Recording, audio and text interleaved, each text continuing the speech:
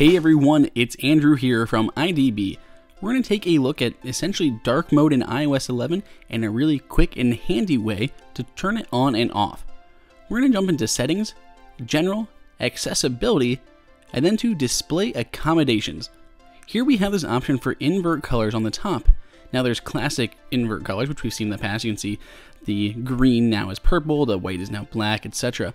But now we have this smart invert, which is new and instead of that green turning purple, the green stays green. But the body and many other aspects of the application and the system itself have kind of reverted to their darker colors. So ideally, photos, this photo of an ostrich, stays the same, but all the UI elements have inverted themselves. Now, it works again in pretty much any app, but it still is early in the implementation process. You can see some things don't quite convert. The dock on my iPhone looks kind of a little wonky. It's kind of this orangish color where I've seen others where it's not fully, and you can see in the pull down for Spotlight, it's not exactly dark. Even the folders, they're not quite dark yet. But many applications like calendar work great in there.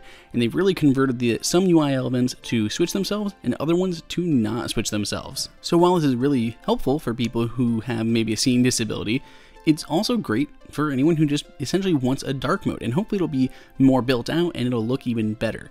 Now there's a really cool trick you can do. You can actually go to this accessibility shortcut inside of the accessibility settings and turn on smart invert colors. Now triple tap the home button or click the home button and that little pop-up comes up in my case because I have I have two options set to there. But you can set it to just triple click and it'll invert the colors triple click again and it goes back. So while iOS does not automatically switch between modes you can essentially have the regular version during the day triple click in the evening to switch to dark mode and triple click again in the morning to go back now, some things definitely don't look quite right.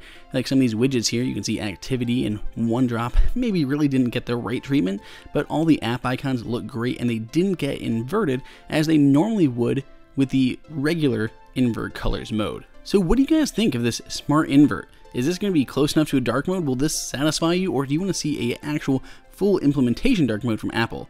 Let us know down in the comments below. Click on that subscribe button and that big thumbs up arrow. Otherwise, until next time, it's Andrew for IDB.